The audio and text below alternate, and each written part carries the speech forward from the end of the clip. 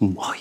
Kuten tiedätte, Ben TV on aina tapahtumien keskiössä ja nyt olemme tässä eduskunnan perustuslakivaliokunnan kokoushuoneen ulkopuolella. Ja tuolla valiokunnan huoneessa käsitellään juuri tällä hetkellä tätä rajaturvallisuuslakia, joka on tällä hetkellä suomalaisen politiikan keskiössä.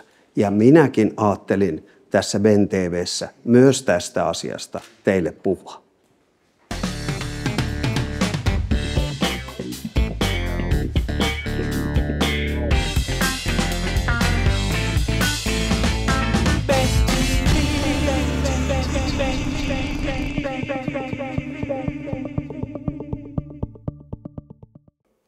Moi. Venäjä jatkaa raakalaismaista sotaansa Ukrainaa vastaan. Ja Suomen vasemmistoliitto Li Anderssonin johdolla jatkaa jäsenyyttä Euroopan parlamentin tämmöisessä vasemmistoryhmässä, missä on entisiä ja nykyisiä kommunisteja, jotka ovat esimerkiksi sitä mieltä, että Venäjän aloittama sota onkin Naton syytä, jotka on sitä mieltä, että Venäjälle ei saa asettaa pakotteita, ja jotka on sitä mieltä, että sota loppuu nopeammin, kun Ukrainalle ei anneta aseita. Eikö ne taju, että sota loppuisi vielä nopeammin, jos nämä aseet sen sijaan annettaisiin Venäjälle? Gaasassa Hamasin aloittama sota myös valitettavasti jatkuu, kun Hamas on hylännyt näiden välittäjämaiden uusimman aselepo- tai tulitaukoehdotuksen toivottavasti siellä päästään nyt eteenpäin, kun tänään perjantainakin neuvottelut ovat jatkumassa. Helsingin Sanomissa oli useamman sivun valtava professori Karlo Tuorin haastattelu. Tässä haastattelussaan professori Tuori hyökkäsi räikeällä tavalla eduskunnan perustuslakivaliokuntaa vastaan. Tuori sanoi muun muassa seuraavaa, sitaatti, Oikeusvaltio on vaarantunut Suomessa ennen näkemättömällä tavalla ja seuraukset voivat olla vakavat. Edelleen Tuori tässä samassa haastattelussaan sanoi, että perustuslakivaliokunnan väite, että Euroopan ihmisoikeustuomioistuimen ratkaisut palautuskielon soveltamisesta eivät olisi samankaltaisia itärajan tilanteen kanssa – ei myöskään pidä paikkaansa. Samassa haastattelussa professori Tuori hyökkäsi voimakkaasti perustuslakivaliokunnan nykyistä puheenjohtaja Heikki Westmania kohtaan ja sanoi, että nimenomaan tällä vaalikaudella perustuslakivaliokunta on politisoitu. No kun mä olen aikaisemmilla vaalikausilla välillä ollut perustuslakivaliokunnan puheenjohtaja, mun pitäisi tietysti tällaisesta kehusta olla tyytyväinen, mutta voin sanoa, että keskustelua perustuslakivaliokunnan politisoitumisesta on käyty aina ja yleensä aina silloin, kun valiokunnassa on jouduttu äänestämään tai kun valiokunta ei ole yhtynyt jonkun omasta mielestään oikeassa olevan professorin tulkintalinjaan. Mutta kun Tuori myös sanoi siis, että Euroopan ihmisoikeustuomioistuin on käsitellyt samanlaista keissiä, eli on väärin väittää, ettei se olisi käsitellyt.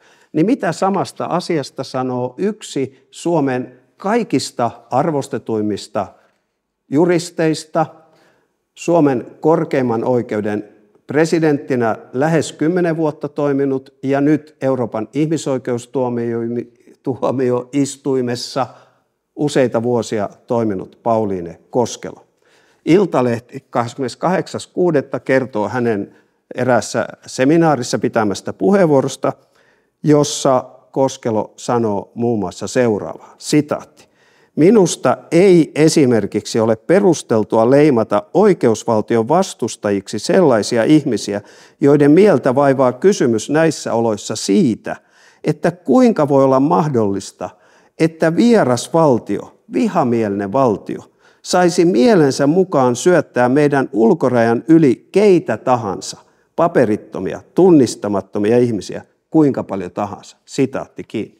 Ja siitä, onko EIT käsitellyt tämmöistä asiaa, Koskelo sanoo, että, sitaatti tästä jutusta, Koskelo kertoo, että EIT ei ole koskaan arvioinut, millaisiin toimiin valtio voi ryhtyä, jos sitä vastaan käytetään niin sanottua ihmisasetta. Ja sitten suoraan Koskelon suusta. Siis kyllä minusta täytyy voida myöntää, että tämä kysymys on vakava, paitsi itse asian vuoksi, myös sen vuoksi, että tosiasia on se, että ihmisoikeustuomioistuinta ei ole koskaan pantu tällaista kysymystä pohtimaan. Sitaatti kiinni.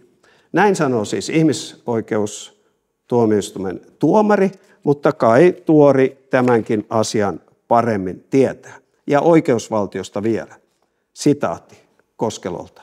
Mehän ei olla missään uskon lahkossa, vaan meidän pitäisi pysyä hereillä, silmät auki ja omakin pää käytössä. Uudet tilanteet vaativat uudenlaisia arviointeja. Minusta on olemassa riski, että jos oikeusvaltio-käsitettä liian helposti roiskitaan joka yhteyteen ja käytetään sitä tällaisena leimakirveenä, niin se on huono asia. Sitaatti kiinni.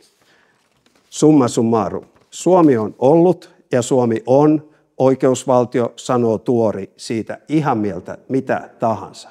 Suomi ei tietystikään ole kääntämässä selkäänsä ihmisoikeuksille, väittää tuori siitä ihan mitä tahansa. Mitä Westmanniin tulee? Hän on poikkeuksen lahjakas ja korrekti juristi. Tuori sanoo, että hän inttää siellä asiantuntijoita vastaan. No on se aika fakiri tämä Westman. Jos se tällä inttämisellä olisi saanut, mitä siis ei ole tapahtunut, valiokunnan enemmistön, joka ei siis koostu hallituspuolueista, vaan laajemman enemmistön, omalle kannalleen. Ja näin on käynyt. Siis miten muka Westman, joka on siis hyvin lahjakas ja korrekti juristi, olisi saanut valiokunnassa enemmistön manipuloitua omalle kannalle, jos hän olisi sellainen inttäjä ja, ja juri, juristinen äh, hahmo kuin mitä Tuori väittää. Kyllä tämä Tuorin purkaus kertoo mielestäni ennen kaikkea siitä, että viime aikoina Tuori on esittänyt useita omituisia tulkintoja, esimerkiksi siitä, että sosiaaliturvaa ei saa tehdä säästöjä, esimerkiksi siitä, että poliittisia lakkoja ei saa rajoittaa, ja tietysti sitten tämä raja, rajaturvauslaki. Nämä Tuorin kannat eivät ole saaneet siis perustuslakivaliokunnan enemmistöä taakse. Hänen tulkintansa näistä sosiaaliturvasäästöistä ja poliittisten lakkojen rajoittamisesta on ollut aivan kummallinen.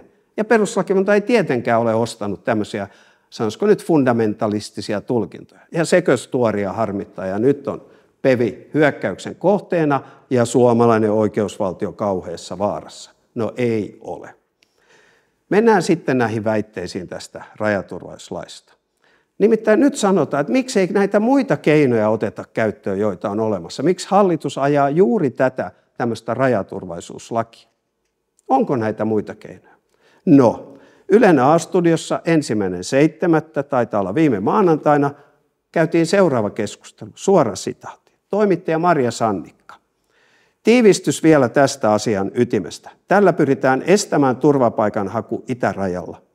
Onko mielestäsi mitään oikeudellista hyväksyttyä keinoa, jolla näin voitaisiin tehdä? Sitaattikin. Ja emeritusprofessori, kansainvälisen oikeuden professori Martti Koskeniemi vastaa. Ei ole. Piste. Siis ei ole. Sitten hän jatkaa. Kuten sanoin, tässä on monta erilaista normia ja nämä kansainväliset normit, siis ihmisoikeussopimukset ja Eurooppa-oikeus, ne eivät tarjoa sellaista mahdollista, jolla tällä hetkellä se voitaisiin tehdä. Sitaatti kiinni. Eli samat tyypit, jotka sanoivat, että hei, miksei hallitus turvaudu muihin keinoihin, samat tyypit, esimerkiksi tässä professori Koskeniemi, sanoi, että ei ole mitään oikeudellisesti hyväksyttyä keinoa, jolla Suomi voisi estää Venäjän hybridihyökkäyksen tilanteessa kansainvälisen suojelun hakemusten vastaanottamista Suomen rajoilla. Nämä professoreiden ja eräiden poliitikkojen tarjoamat vaihtoehtoiset keinot eivät siis estä kansainvälisen suojelun hakemista, vaan ne merkitsevät tämän Suomeen jo saapuneen joukon hallintaa, siihen liittyviä keinoja. No, kun tämän lain tarkoituksena on ennalta estää Venäjää puskemasta, niin miten se, että me kuitenkin otettaisiin kaikki vastaan meidän prosesseihin, niin miten se lähettäisi esimerkiksi lähtömaihin viestin, että ei kannata tulla, koska monelle riittää se, että pääsee Suomeen, koska tietää, että Suomi ei pysty näitä ihmisiä palauttamaan ja että Suomesta pääsee eteenpäin Schengen-alueelle. Mutta sitten yksi juridinen pointti.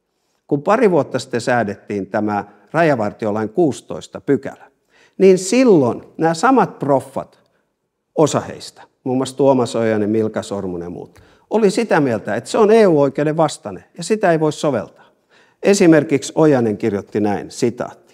Joka tapauksessa nyt ehdotetussa muodossaan lakiehdotuksen 16 pykälän 2 momentti on kansainvälisten ihmisoikeusvelvoitteiden ja EU-oikeuden sekä näin ollen myös perustuslain vastainen siltä osin, kun valtioneuvosto voisi päättää kansainvälisen suojelun hakemisen keskittämisestä Suomen valtakunnan rajalle yhteen tai useampaan rajoituspaikkaan. Sitaatti kiinni. Ja se, mitä hallitus sitten käytännössä teki, oli, että kaikki, kaikki Venäjän vastaiset rajanylityspaikat pantiin kiinni. Siis edes sitä yhtä, joka alun perin oli ajatuksena, ei jätetty auki. Mutta ei voi säätää, koska se on KV-oikeuden, Eurooppa-oikeuden ja perustuslain vastainen, sanoo Tuomas Ojanen.